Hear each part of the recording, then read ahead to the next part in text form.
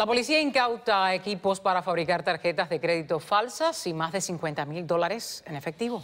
Vamos ahora con René Pedrosa, nos cuenta los detalles del caso.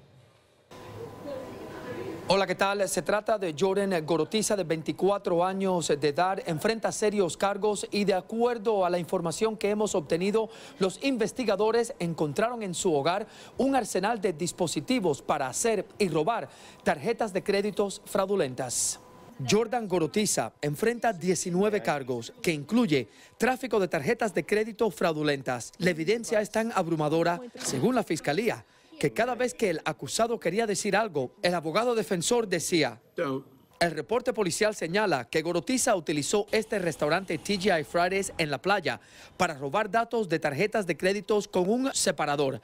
Lo ayudaba un mesero. Sabemos que es un fraude que está pasando muy a menudo en los días de hoy donde pasa muy, donde pasa a común es en los restaurantes. Cada vez que ese mesero escaneaba una tarjeta, utilizaba el separador para copiar los datos de las tarjetas. El consejo que le damos a las personas es básicamente, si van a perder vista de la tarjeta, traten de usar una tarjeta de crédito en vez de una tarjeta de débito. Los investigadores tienen un video de vigilancia del momento que Gorotiza le pagaba al mesero 400 dólares por ayudarlo. Teniendo esa información en sus manos, las autoridades siguieron al sospechoso hasta su casa en Homestead.